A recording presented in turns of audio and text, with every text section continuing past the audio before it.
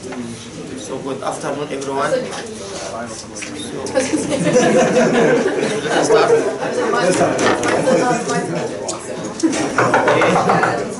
So, let us start. So this is a great honor for me to present Dr. Patrick McClure, who formally my student, and again, the feeling right now for me, I am so proud of him because uh, I think Patrick was maybe second or third undergraduate student who come to my lab and start to work with me. And uh, he, at, even as this is when he was undergrad, he able to publish in uh, good places and uh, good conferences. And I can tell you, Patrick is an example for the people who are smart and hard work. Because this is very rare to find in a student. Sometimes if you see a student who's very hard worker, he's not smart enough. Or if he's smart enough, you find he's not hard worker. But you find one hard worker and uh, smart at the same time is very good. And he will explain to you uh, his journey until now to graduated from Cambridge. I just to give you an example, Patrick finished his Master of Science in one year. So you, you can you can finish Eng in one year, but to finish Master of Science in one year in computer science, I think this is a great challenge for him. This is an example. And after this time, he applied for Cambridge International Scholar. And as I remember, Cambridge usually gives to 75 from the, all over the world. And to, this, this means it's very competitive scholarship. And able to get one of them, I think this is great honor for U of L. And again, like we're so proud of Patrick and he will share with you his journey until now graduated from Cambridge and I think next month he will start his uh, career at NIH, right?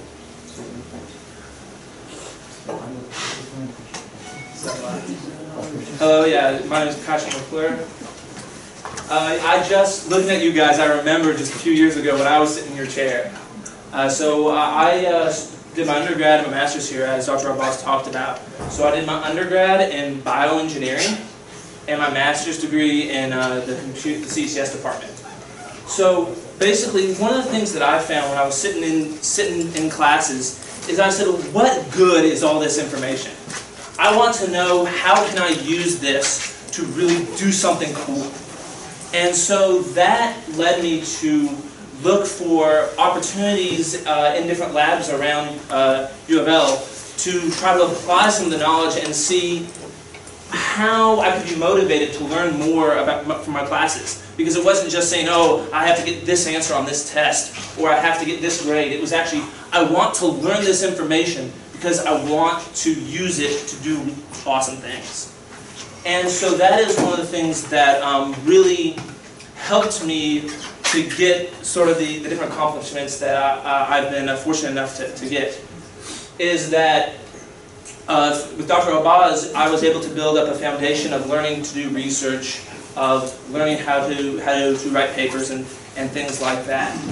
But for you, one of the things that I just want to say is that do not give up being excited about learning. So that is to me the key thing that allows that allowed me to, to succeed is I found the areas of knowledge that I was most interested in and most enjoyed. For me, I do a lot of stuff with uh, machine learning applied to neuroscience and medical medical uh, medical um, problems. And so just that is one thing I have to say is when you're searching for what you're going to do next or what different things you're going to apply for, just find what makes you, what sort of knowledge makes you excited and makes you want to learn it. And like with that, I was able to, you know, work with uh, Dr. El-Baz to to get some publications when I was an undergrad.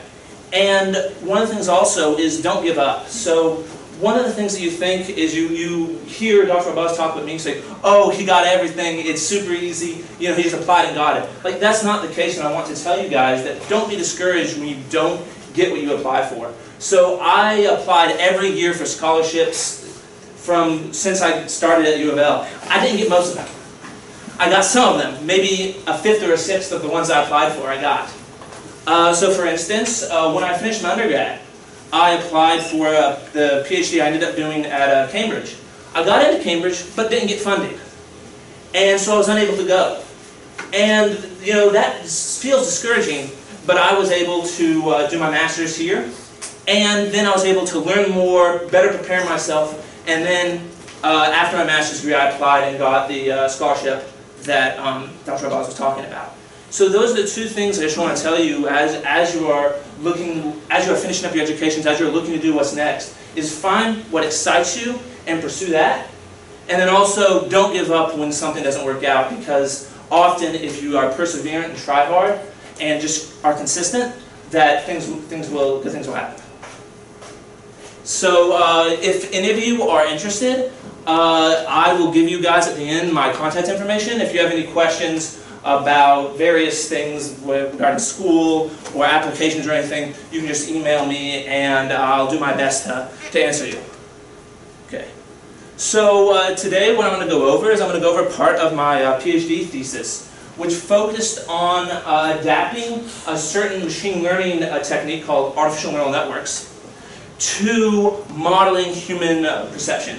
So how humans perceive and through their vision understand the world.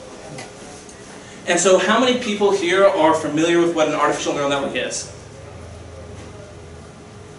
Okay, okay, so let's see. So an artificial neural network, it basically has, the basic structure is that you have a, is that you have a neuron, or a unit. Okay? This unit is some sort of function. So often what you'll see is you'll see what's called a rectified linear function. Okay? So what this says is you have some sort of threshold t. And if an input is less than that threshold, then the output of that neuron is zero. If it is greater than, you just multiply the input by one. So it's the same, so it's linear. Okay? So this is just a basic neuron. Then what, do you, what does this neuron do? So what we want to do is we want to take in information. So what happens is you have different inputs. These are, these are generally called weights. So you have different inputs from other neurons that are functions. And what you want to learn for this neuron is you say, given this information, how does it affect the information that I want this neuron to output? So what you generally do is you learn these weights, which says how important is this neuron to how this other neuron should function. So in artificial neural networks, what you do is you have a lot of these, often in different sequential layers, and all you're doing is trying to figure out how each neuron should affect the other neuron by learning these connection strengths. Okay? So that, that's the basic, that's the basic uh, idea of what's going on. And so I'll try and show you a little bit. And with this idea, you should be able to sort of understand uh, what, what I'm uh, going to be talking about.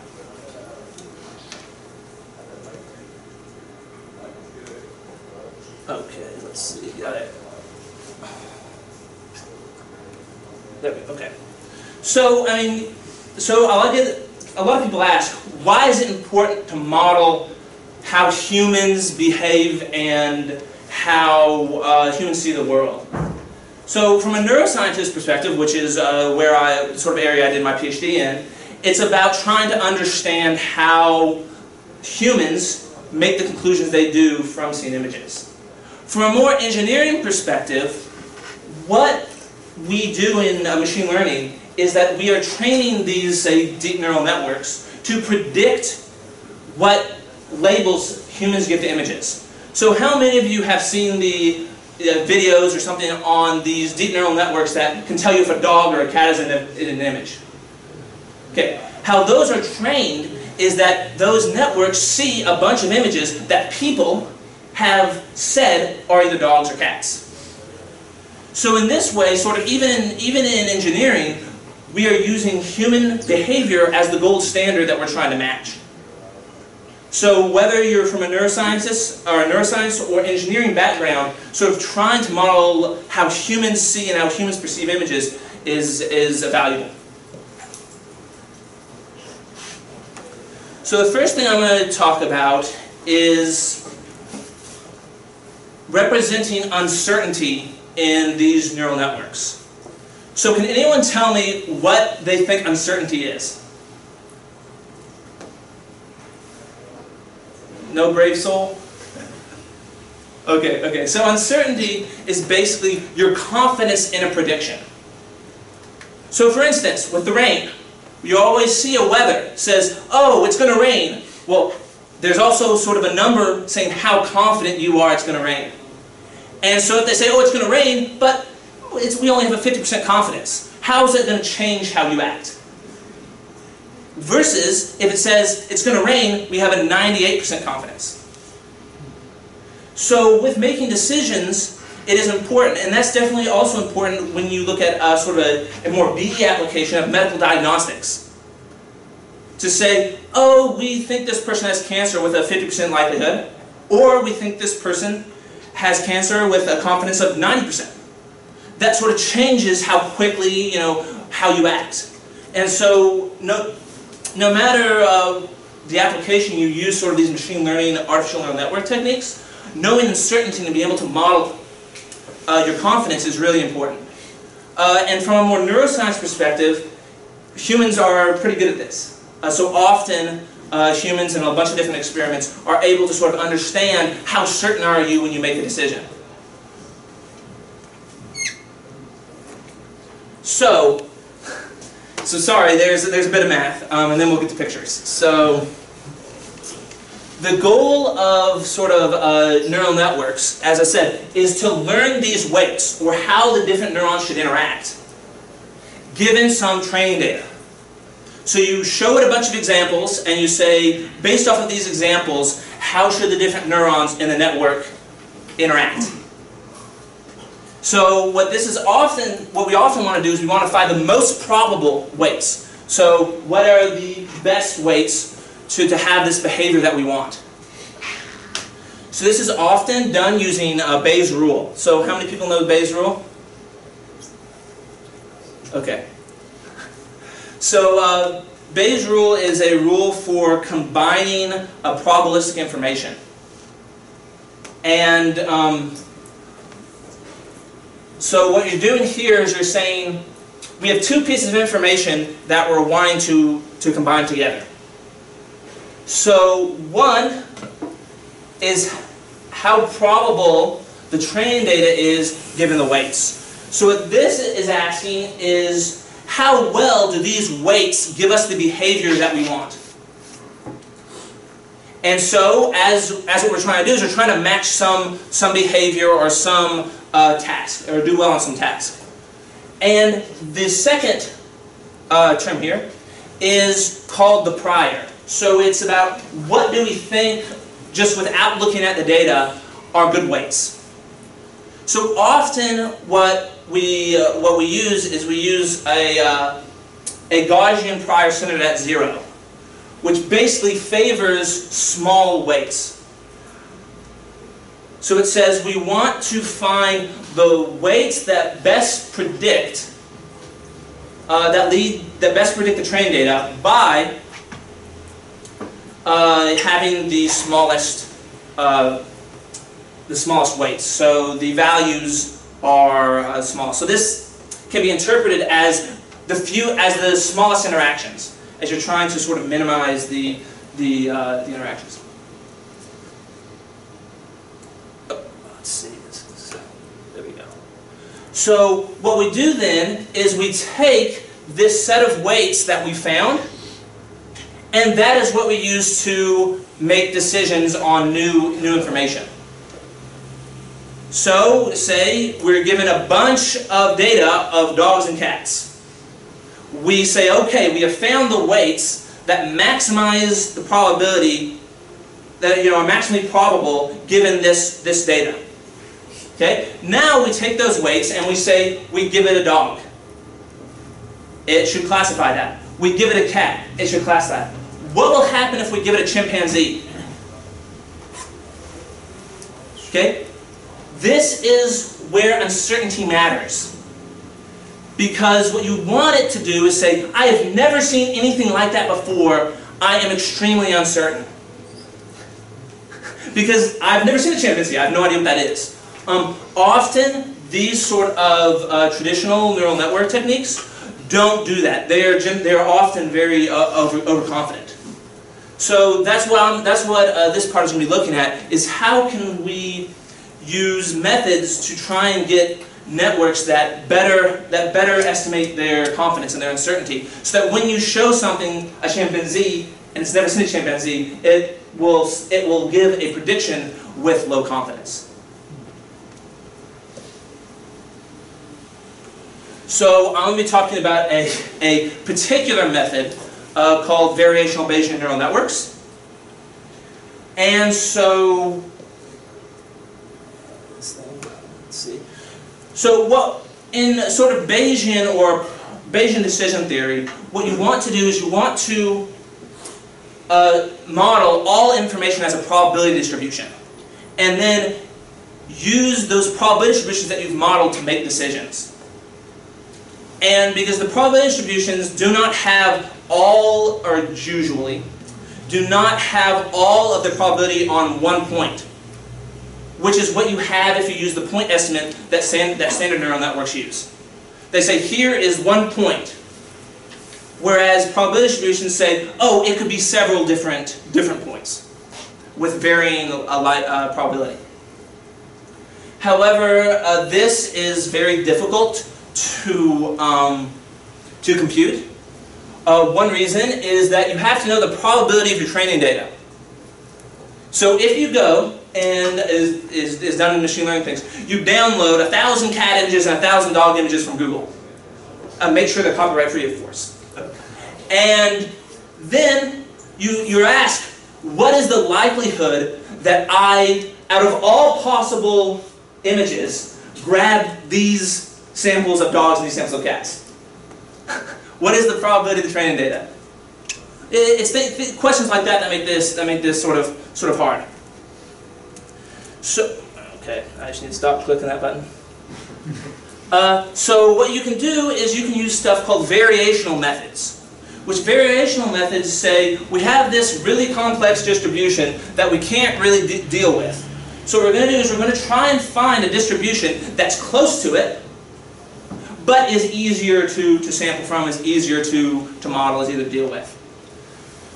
So what happens is, is we find this by minimizing sort of this, this equation. So I'll, so let me walk through this equation so to sort of give you an idea. What you have here, generally, in, in, uh, in pure uh, Bayesian theory, this will be the expected log likelihood uh, when you over the weights. Okay, so what this says is that is that given your probability distribution of weights, how likely is the uh, the training data? So how likely is the behavior is the behavior you want? However, it's a integral over continuous space, which is not always uh, the easiest thing to deal with. So what you do is you do something called a Monte Carlo approximation, which is you take a bunch of samples and then use those samples to approximate what your expectation is. And through the, the law of large numbers, and uh, the more samples you take, generally the closer the approximation. Uh, because machine learning often wants to be fast and efficient computationally, uh, what's often done in machine learning is you just take one sample. So that gives you really noisy estimates, but in practice it, it works pretty well. So the second term is called the KL divergence. So what that is, is that is a divergence which is similar to a distance. Uh, so you're saying how similar are, are these two things. So this is saying we want our model distribution to be as close to our prior as possible. So in, uh, as often done, your prior is saying we want these weights to be small. So that's what you're trying to do. You're saying we're trying to keep the probability of small weights high while also trying to get the behavior that we, that we want. And so we use this to try and learn the uh, variational distributions that we want. However, as some of you may say, what in the world is a variational distribution? What does it look like? What's going on? Uh, so, uh, oh, excuse me, let me, before I get to that. Uh, and then at, uh, when you want to predict something, what you do is instead of using the point estimate of the weights, like we did on the previous slide, you can do, a, again, a Monte Carlo estimate of your, of your predicted probability. Okay, so, how many people are completely lost? I, I'll, I'll ask that. I, a little lost is may happen, but completely lost? Okay, okay, no brave souls today. Uh, so what we can look at is we can say, well, what are these variational distributions? Generally, as I said, they're generally simple distributions that we want to use because they're easy to deal with. So again, what we'll have is we'll have some sort of baseline, just standard neural network, which is, as I showed you, is a bunch of neurons connected, connected together. And those connection values are what we're learning. Again, so we're trying to learn how, in, in this case, how this neuron's value should affect these neurons' values, how this neuron's value should affect these, and so on. And if you stack these together, then you're learning sequentially that. And so that's where you would get the terminology of like something that's called a deep neural network, is where you stack a lot of these together and have a uh, series of sequential steps. Uh, okay, so what we do is we use, um, in this work, we use two standard uh, distributions. One's called the Bernoulli distribution. If any of you have taken the uh, statistics course here, you are very familiar with that. It's basically saying, basically you can think of it as a coin flip. Um, for some probability, you flip a coin. Sometimes it will be one value, 1. Sometimes, in this case, 1. Sometimes, with another probability, it will be 0. And the probability of it being 1 and 0, those two probabilities have to add up to 1. So you only have two possible uh, states, basically, and there's a probability of being in each. Then the Gaussian is a normal distribution. I'm sorry, if you do not know what a normal distribution is, I cannot help you today. Um, it is just the classic bell curve that you've seen since middle school. Uh, that, and so you have some sort of central mean value that is the most likely, and then as you get further and further away, you sort of tail off. And so what you can do is you can do different uh, sampling, sampling methods with these variational distributions. So one, you can do, you can sample connections. So let's say that we have a uh, Bernoulli sampling for each one of those weights. What that says is that for some probability, a connection is going to be set to zero, and for 1 minus that probability, it will be whatever learned weight we, we, we have. Um, so if any of you are interested in the machine learning literature, this is called uh, Bernoulli drop connect. So that's sort of its uh, machine learning uh, name. But in, in reality, you're just flipping, basically flipping a coin for each, each uh, connection when you run a network and saying is this going to be on or off. Okay, thing is you can also do that for, for units.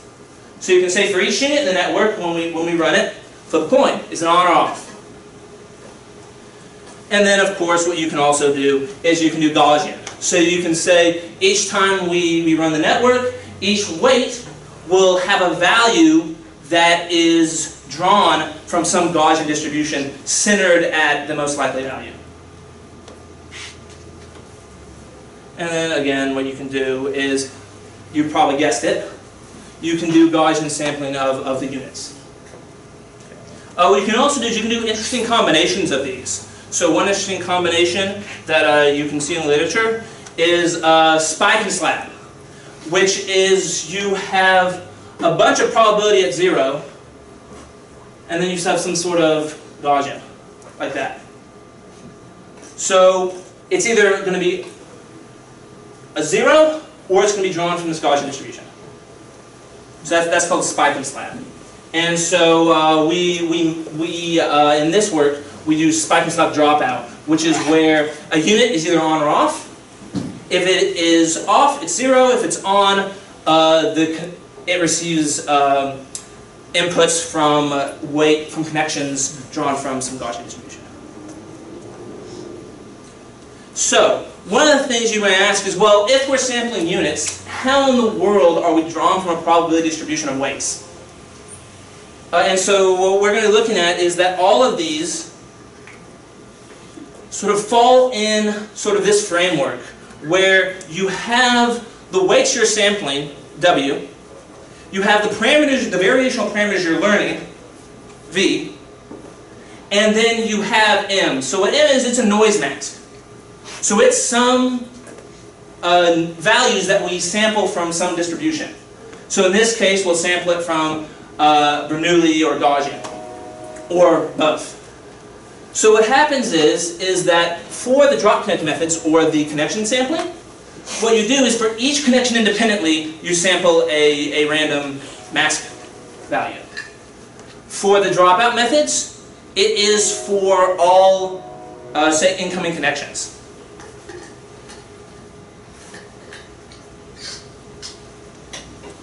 And then spike and slab, it's a combination of both.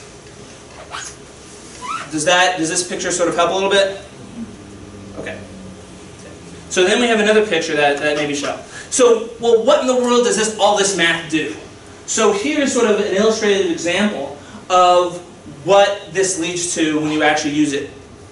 So what we have here is we have uh, random values that are uh, drawn from two uh, two two-dimensional Gaussians.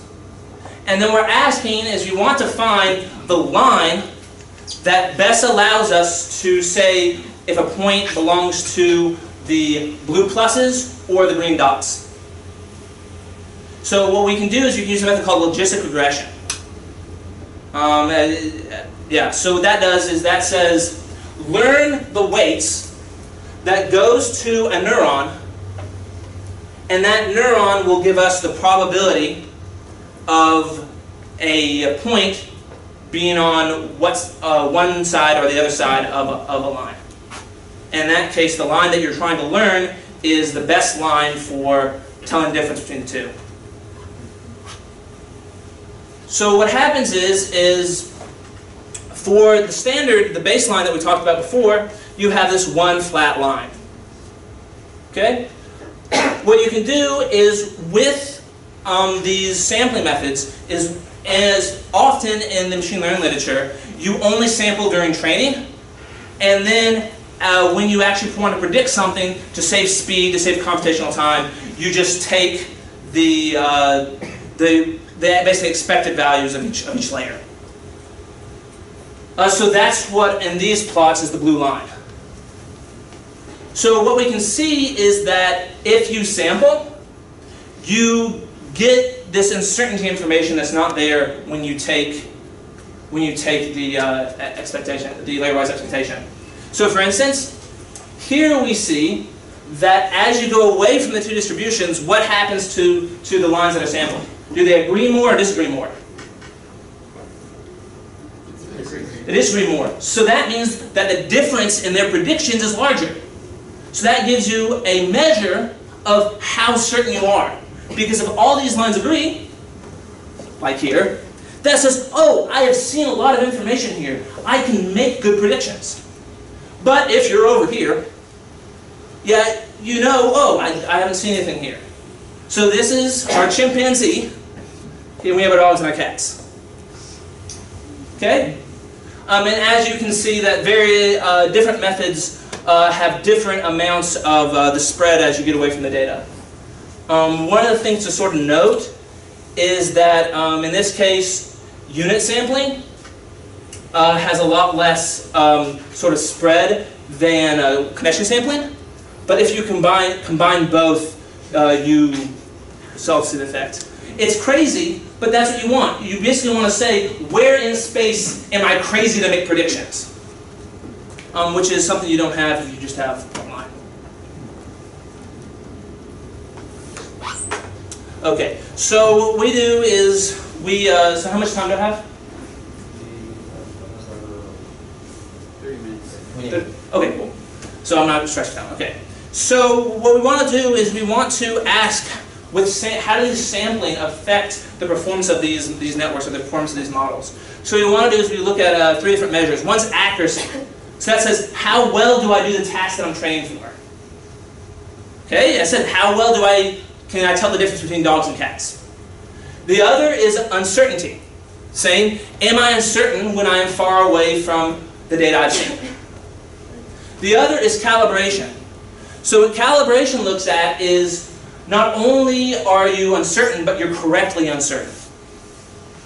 So, for instance, if a weather person says it's going to rain with 70% chance, okay, a correct calibration prediction would be that 70% of the time, when they predict 70%, they're right. So it means that that, that sort of confidence is meaningful, that you can trust it. And so that's what we check with calibration is how can we trust the uncertainty estimates? Yeah, you may be getting more uncertain, but can we trust the values you give us? So basically what we have is, again, we have the two colors. We have learning only, which is the layer-wise expectation, which is often done in machine learning. And then we have the sampling during learning and inference, which is uh, the, the variational Bayesian methods. And then what we have is we have our little network,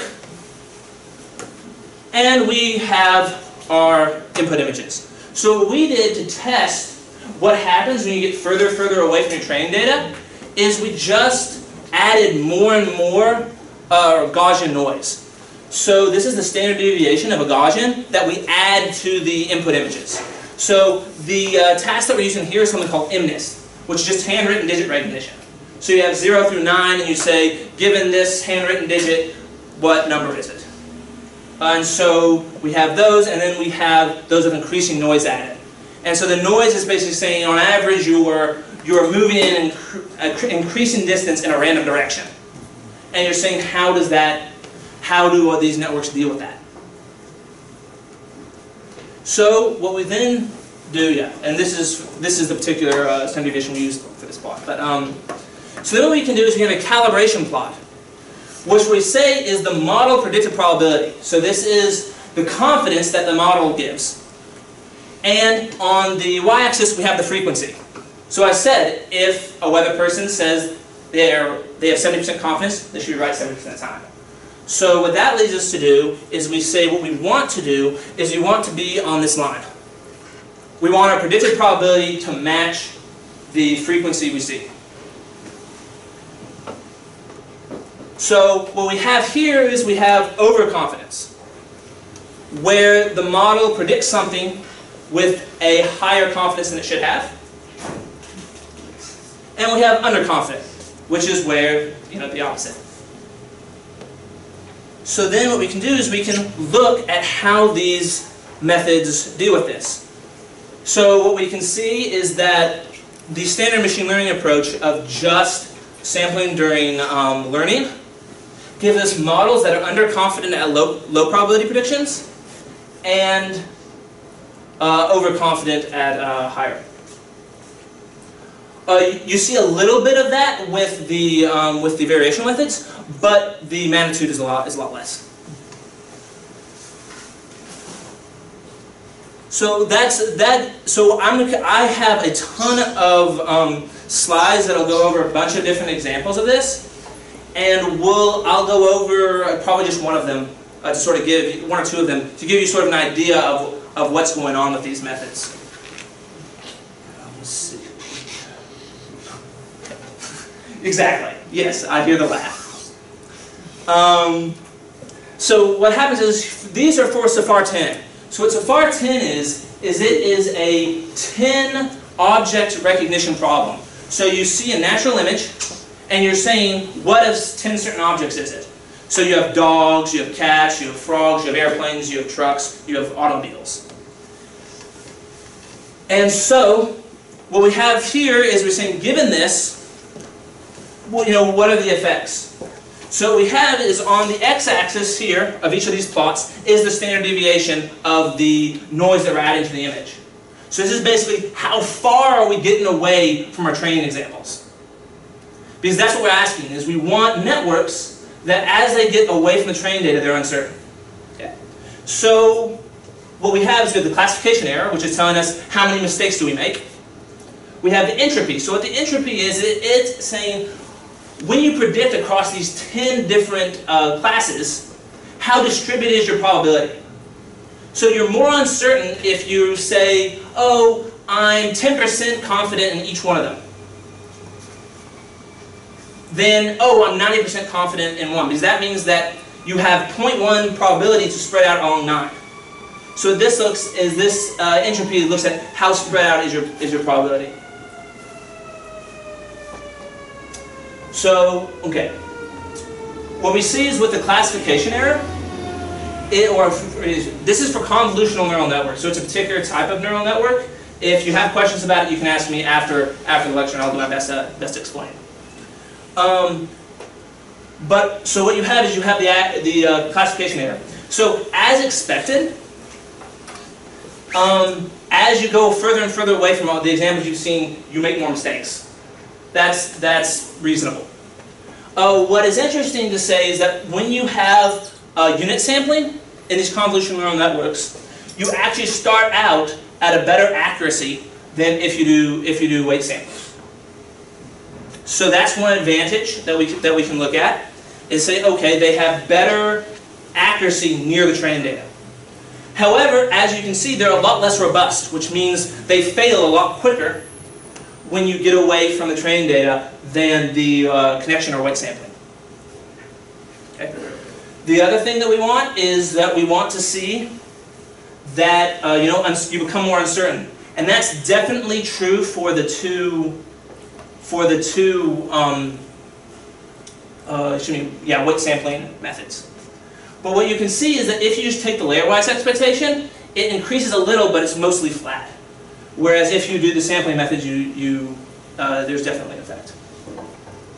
Uh, and then what you see here is that for the uh, sampling methods, you, you generally get a little increase with a, maybe a slight dip at the end.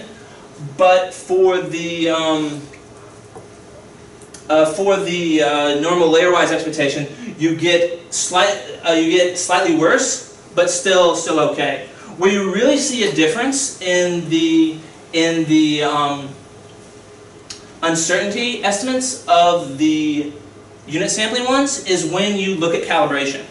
So this is saying I just don't want to say, oh, I'm not confident all the time as I get further away. I want to correctly place my confidence. And so what this is, is this is a sort of calibration MSE. So it's how far away from that x equals y line that the calibration plot is. And so as we can see from weight from this weight sampling, these are very, very uh, good at knowing their confidence away from the data. Ha uh, however, they have less accuracy near the data. And then these are the two uh, only unit sampling ones. They fail, their calibration fails a, a, lot quicker. So what you can do is if you combine them with the spike and slab, is you can actually have um, good starting accuracy near the data, and you can also have better um, uncertainty estimates away from the data. So you can see that this line is a lot is a lot lower than that. Um, and what you can also look at to sort of understand the uncertainty is you can look at the calibration plots, where you can really see how fit, how the different methods fit the data fit near the data. So the weight, the uh, weight sampling only, that uh, you know is the sampling definitely helps, but for the um, all of the methods that use unit sampling, you fit the data really well. In that close to the data, you have very good uncertainty estimates. However, as you get further and further away, these methods fail. Uh, whereas the weight sampling, while they do get much worse, are still much better than these. Um, however, again, if you combine the unit sampling with the weight sampling, you can pull up the, uh, the calibration. Uh, that's especially visible here in sort of the mid-range of the noise where these are much more failing than this. So one of the other things that, um, that these sampling methods are really good for is that often in machine learning, one of the biggest pains is hyperparameter optimization. It, these are values that are not learned given, that are often not learned given the training data, but are, in, are excuse me, directly from the training data often you have to do some sort of meta-learning where let's say you have some sort of held out validation set of data and you say, given all these values, how do I do on this validation set? And then use that to use that to set those values. Um, and often you, the question is like, how fine grained do I have to go? How do I change these? It's a little bit of a black magic sort of way, uh, sort of hard thing. But one of the things that you can see is that for um, the unit sampling methods, um, the, when you sample, you have a lot more robustness, robustness to these hyperparameters. So you don't have to be, so you don't have to be as finicky and as as as worried. Um, that's not a main thing, but it, it is it is nice.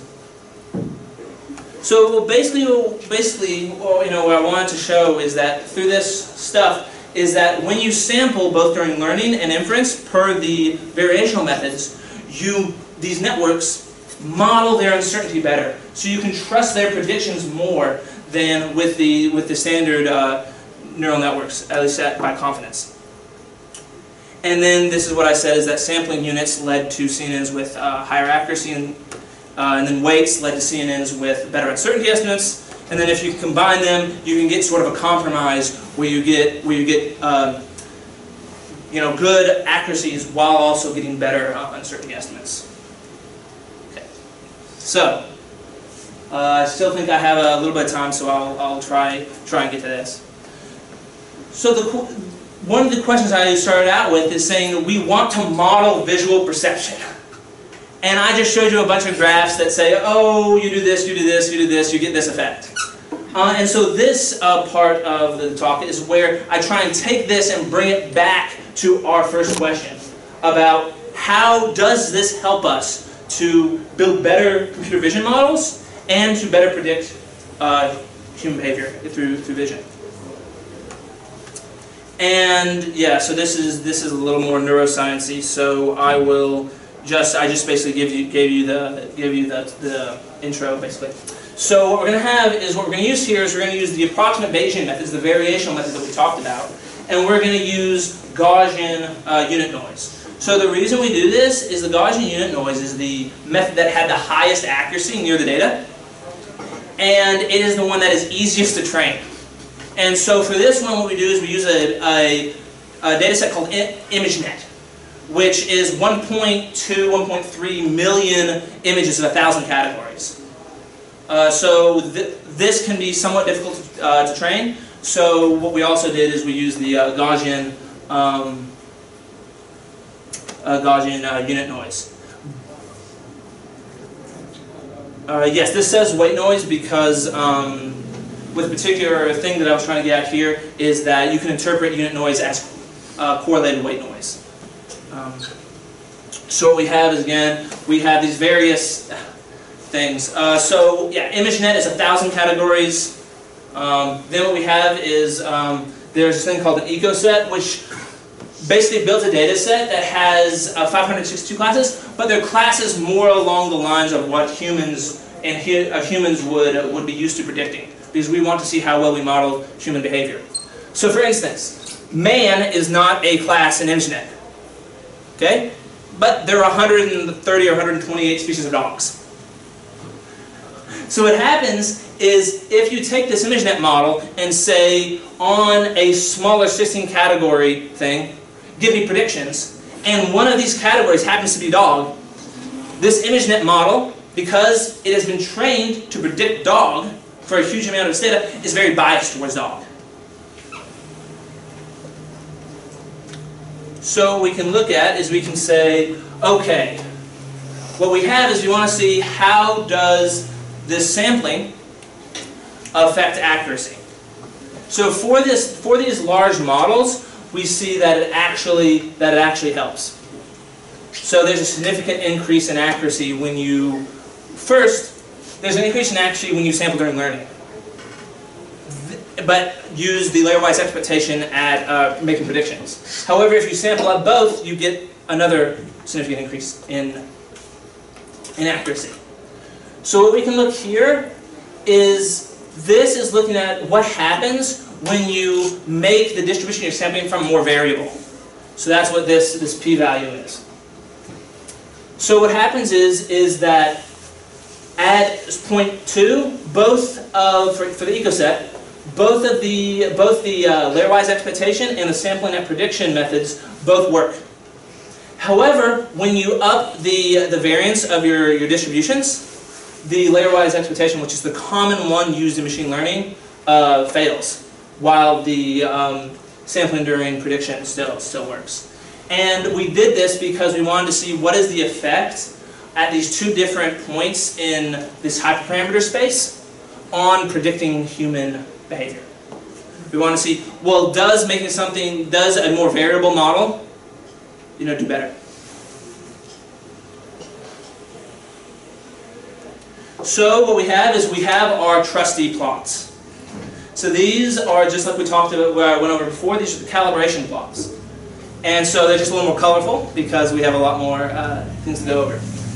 So on the left, what we have is we have the the blue line is what happens when you use the layer-wise expectation. So that's where you sample during learning, but then just take take uh, your best value uh, at prediction. The red is where you sample both, and then the green is where you, you don't sample at all. So what you see is that not sampling at all gives you uh, overconfident predictions. Uh, that, that is often related to something called overfitting, where you just fit the train data too much because uh, yeah, you don't regularize. But if you don't understand those terms, uh, don't, don't worry. Then the blue is extremely underconfident, whereas the, the sampling method is very, very close to what, what we think is the ideal. Um, and then that's not only true for ImageNet, but it's also true for this ecoset, which is the set of images that have more human-like, uh, or are the classes in the ecoset are more like humans would see and humans would predict. So then what we do here to compare to human, to human behavior, is we use something called a confusion matrix. Okay? So we have these different, 16 different, different classes. And for humans, we have them look at these images, or someone else did, but we use a data set, where people looked at images quickly and had to classify which, which of these 16 classes an image was.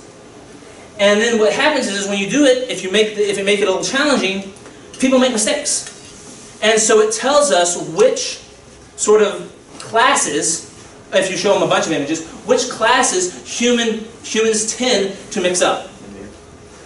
Hmm? the dog in airplane one. Is something wrong? No. Okay. confusion. Yeah.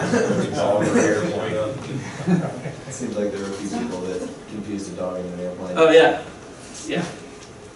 Um, so what happens is, is for this sort of entry level or these these sort of 16 classes, we do uh, we didn't see a difference between both of the both the uh, sampling order and learning and sampling during learning and inference uh, at the point two, or the um, sampling during learning and inference at point three.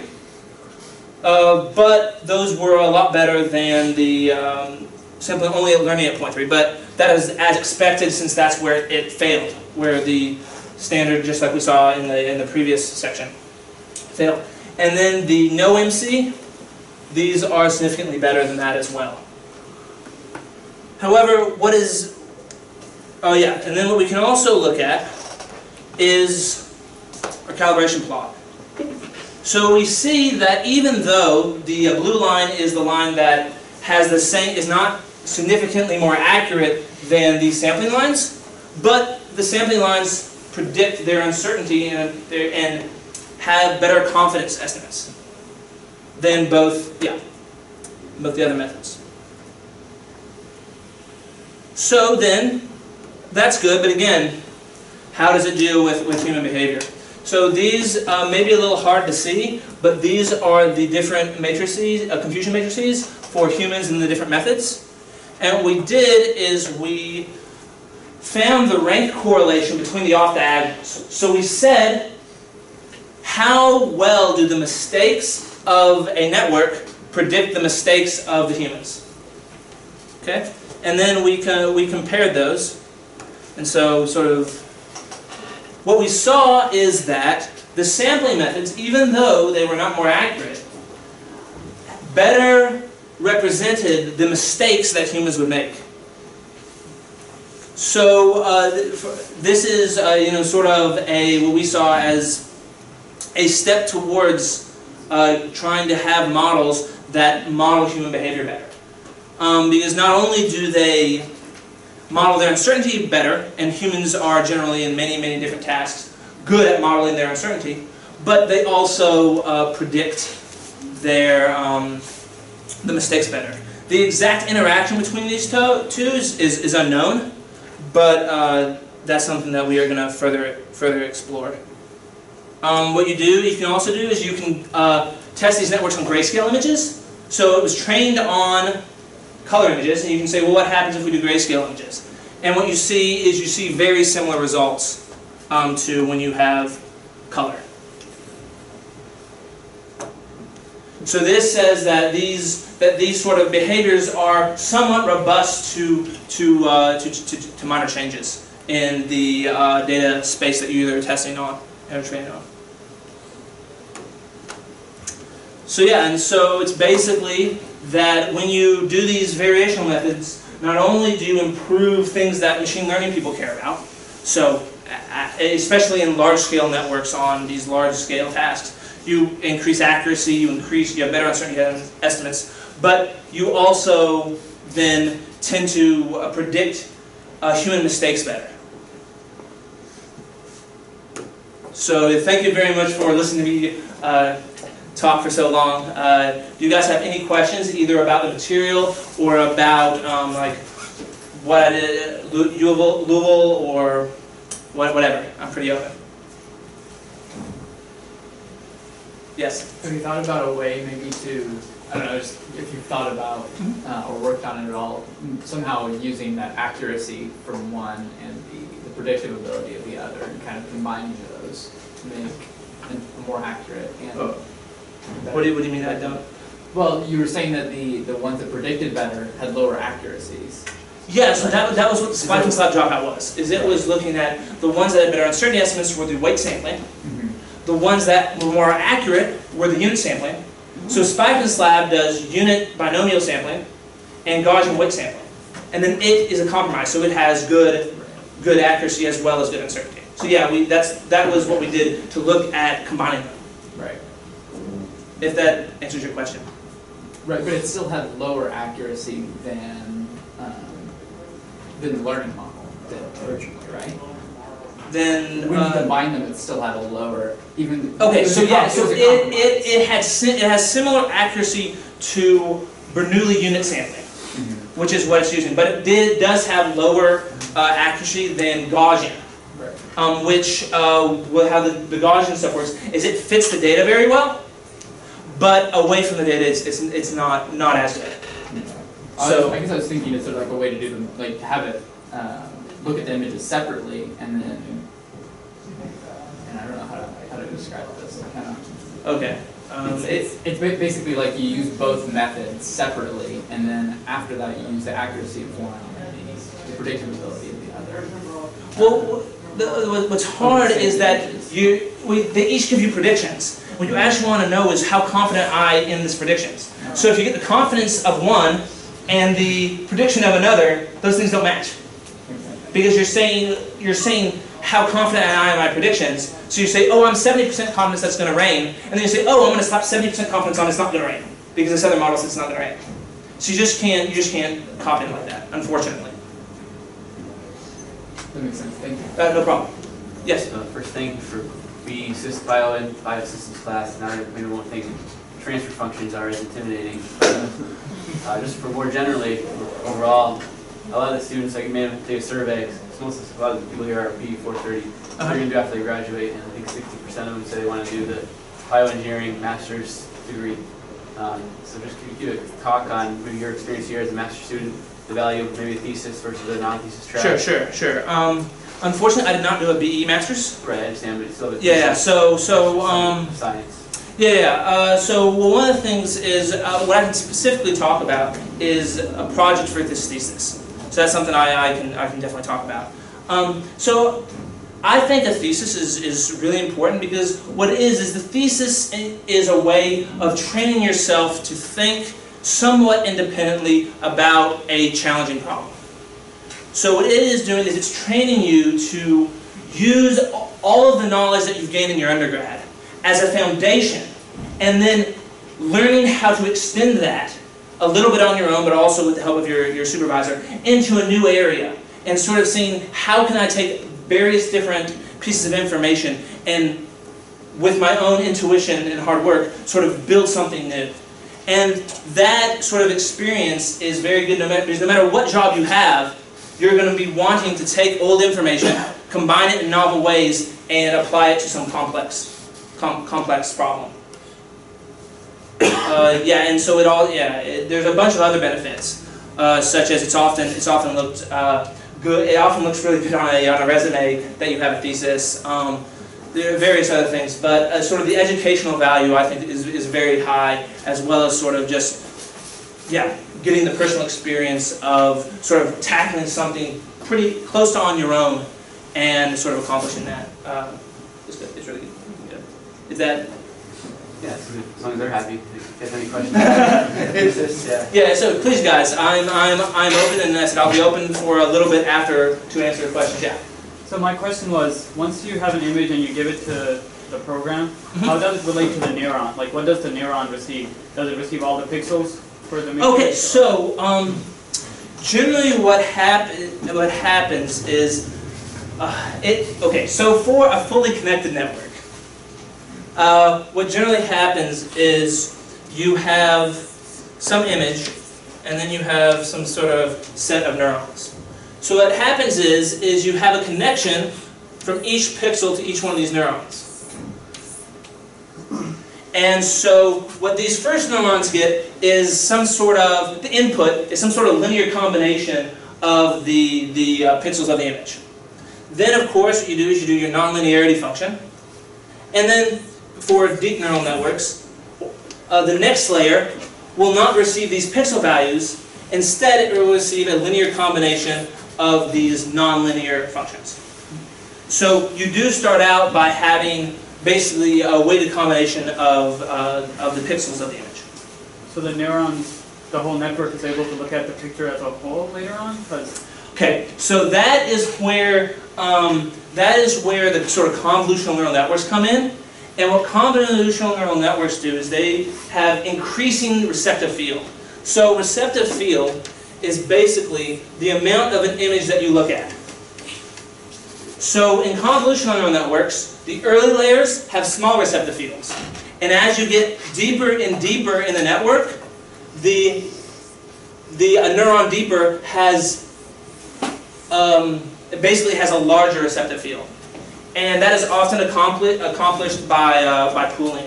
Um, if you want to learn more about these neural networks and exactly all this stuff, I can give you some great online resources that um, are really easy to watch and easy to understand, um, basically YouTube lectures. And this will give you much more insight into these sort of more technical questions that would be very difficult for me to give satisfactory answers in, in five minutes. May I comment? I'm surprised that you didn't mention that we have one of the best experts in the domain of neural networks and one of the first books, Yes, yes, Dr. yes. Zurada. Yes, So I would really, it is not necessary to go Oh, no, not totally outside our school. Yes, definitely, definitely. So um, he even had, yeah, yeah, yeah. So he has he has some resources if you're interested in neural networks. Um, you can potentially talk to him more, or yeah. So cool. It, as I said, if any, any more questions, I'm happy to, to, answer them until, until until you guys are the bell rings and you guys are saying, "Let me out." Thank you very much. Oh, the class is done. No. Cool. Well, thank you very much.